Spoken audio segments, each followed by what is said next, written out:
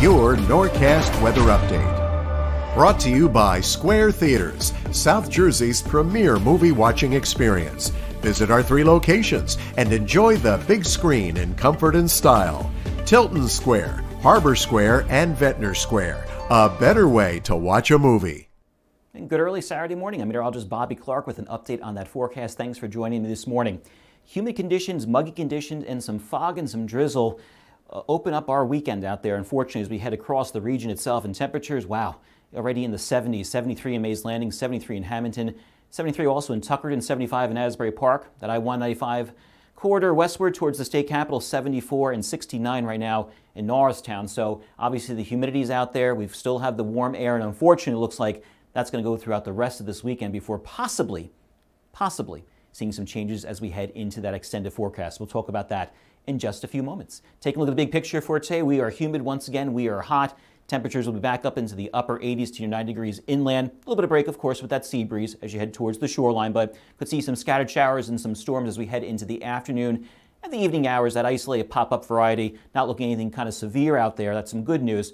Just some garden variety showers and storms to bring us some much needed rain across the area. Exclusive Norcast, uh, uh, region by region hyperlocal forecast. Temperatures similar to yesterday. We'll see the mid to upper 80s to near 90 degrees, feeling near 100 with that humidity with a chance of showers and storms by the time we hit the afternoon hours itself. Farther south and east, same story. We'll see temperatures back into the upper 80s to near 90 degrees with those clouds building throughout the afternoon, maybe a shower or a thunderstorm popping up as we head into the later afternoon on into the evening hours itself. Looking for some relief, we'll go farther south and east. That's the shoreline. Look at that. Low to mid 80s looks like as we head towards the coastline, but unfortunately we see upper 80s to near 90 degrees as we head inland, again feeling near 100 in places with that humidity that's out there. Go farther south and east again. More clouds and sunshine to start for today, and then we'll see those clouds thicken up with a chance of maybe a shower or storm popping up in the afternoon and evening hours with some relief along the shoreline.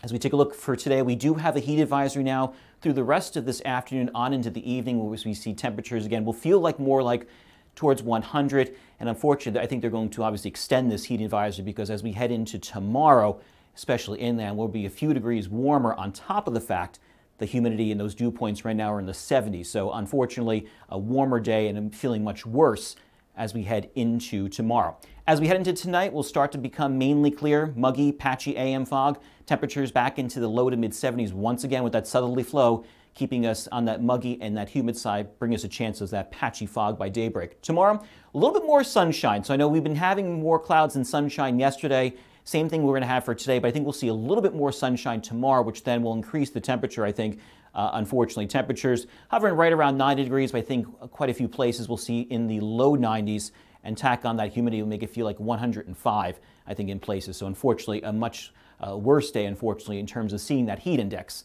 as we head through tomorrow.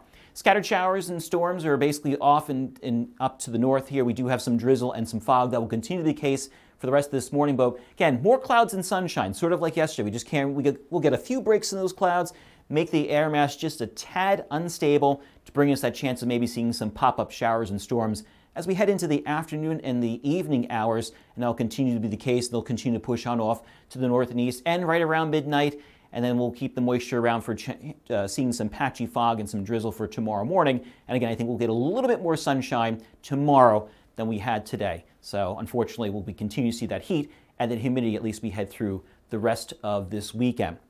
In terms of severe weather, as we head into later on this afternoon, not looking at anything too crazy out there, just some general thunderstorms. You know, could get some steady to heavier rain in a short amount of time, maybe some elevated winds, but not looking at any kind of tornadic activity, no kind of uh, major hail activity, so that's some good news. We can certainly use the rainfall as we head into this afternoon on into the evening hours itself. Going to the seven day forecast, Monday and Tuesday, we continue that heat and humidity out there. I think a cold front pushes in as we head into late on Tuesday, on into early uh, Wednesday, and then we start to see some changes out there. Check this out as we head into the exclusive Norcast plus three days. Thursday on, low to mid 80s, low humidity. It's going to feel so wonderful if that actually does happen, right? Have a great day, everybody. I'll see you later.